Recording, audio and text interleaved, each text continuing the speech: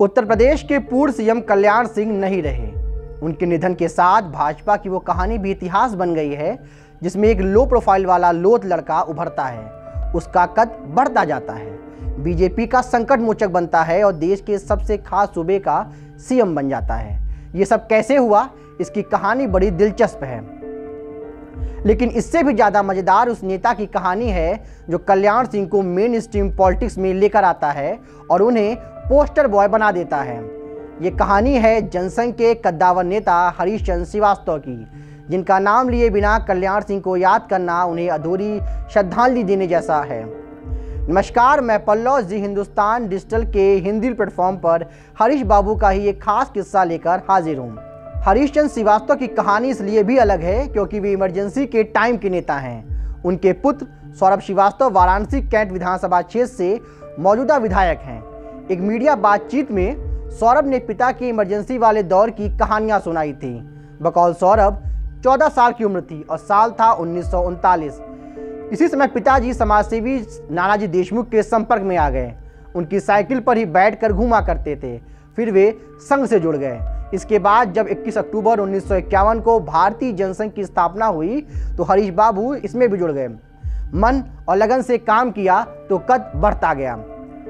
भारतीय जनसंघ के पहले अधिवेशन में वे अटल बिहारी वाजपेयी के साथ मंच पर बैठे दिन बीते, साल बदले। वक्त गुजरा, फिर आता है 1975 वाला वो दौर। वही साल जब कांग्रेस सरकार ने इमरजेंसी लगाई थी। जनसंघ के कई नेताओं को गिरफ्तारी से बचना था, ताकि आंदोलन ज़िंदा रहे। नानाजी देशमुख के कहने पर हरीशचंद्र श्रीवास्तव को भूमिगत होना था। बताते हैं कि नानाजी ने सख्त लहजे में कहा था, हरीश, गिरफ़्तार मत होना और काम करते रहना। खैर, हरीश बाबू ने उनकी बात मानी और भूमिगत होकर काम करते रहे। उधर सरकारी एजेंसियाँ हाथ धोकर पीछे पड़ी ही थी। लिहाजा कई तरह की दिक्कतें दी गई। परेशान किया गया। घर की कुर्की कर दी गई। कई जगह छापे पड़े, लेकिन सब बेकार। हरीश बाबू न तो सामने आए और न ही पकड़ में। असल में पुलिस और इंटेलिजेंस से बचने के लिए हरीश चंद ने जो तरीका अपनाया था, वो बताना मज़ेदार है।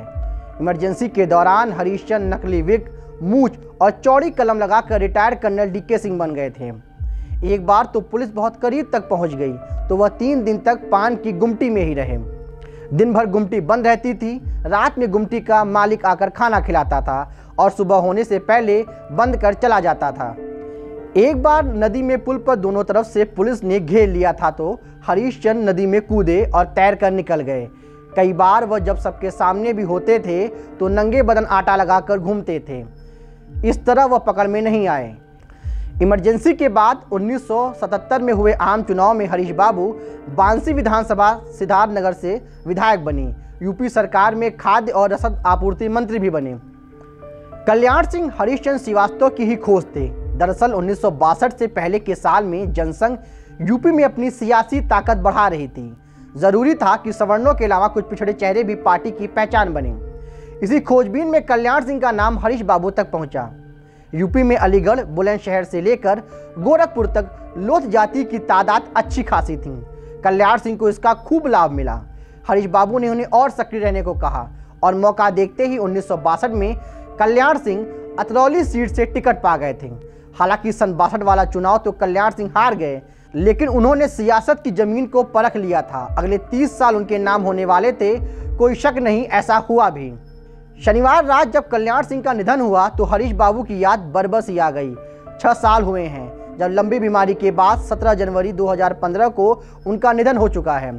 राजनीतिक जीवन में हरीश बाबू कल्याण सिंह के गॉडफादर कहे जाते हैं।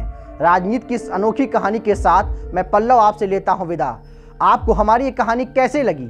कमेंट करके ज़रूर बताइएगा। मिलेंगे फिर, सुनाएँगे नई दास्तां।